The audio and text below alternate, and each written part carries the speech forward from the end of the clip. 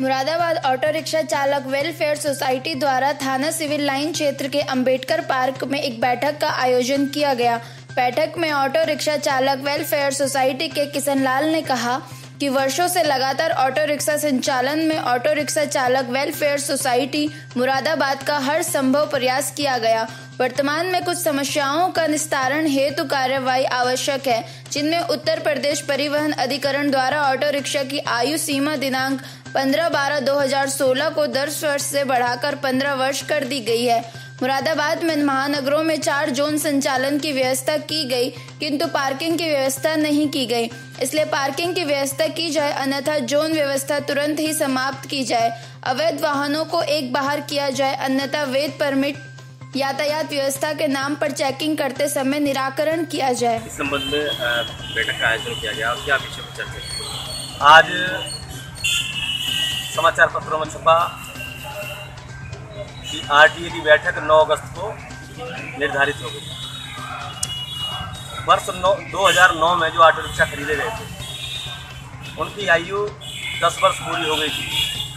और एस ने वर्ष 2016 में उसको बढ़ा के 10 वर्ष से 15 वर्ष कर दिया था। लेकिन मुरादाबाद की आरटीए में ये प्रस्ताव पास ना हो सका। अब आरटीए की मीटिंग में यह प्रस्ताव पास होगा। जो ऑटो चालकों की 10 वर्ष उम्र पूरी हो गई थी, वो बिना परमिट और बिना फिटनेस के हो गए थे।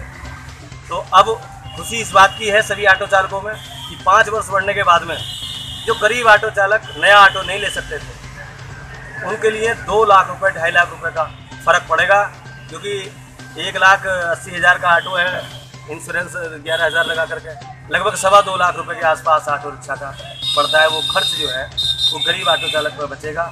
पच्चीस, तीस हज़ार रुपये ठीक लगा करके उसको ठीक करा करके चलाएगा, अपने बच्चों का पालन पोषण करेगा। इसी विषय में मुरादाबाद महानगर में एक ऑटो संचालन की नई व्यवस्था के लिए सभी ऑटो चालकों ने तय किया है। ये हमें चर्चा हुई है चारों जोनों पर। जोन व्यवस्था चले ना चले, इसके संबंध में प्रशासन की जिम्मेवारी है, क्योंकि प्रशासन के पास कोई जगह नहीं है। स्टेशन के लिए जो किराया जमा करा था चौबीस हज़ार रुपये उसमें एक भी जगह हमको नहीं मिली है। तो इसलिए अब हम प्रशासनिक अधिकारियों से निवेदन करेंगे कि हमें जगह दिलाएँ, अगर जॉन चलाएँ तो। अन्यथा इन जोनों को समाप्त कर दें। इस आर की मीटिंग में ये जॉन संबंधी सर क्यों?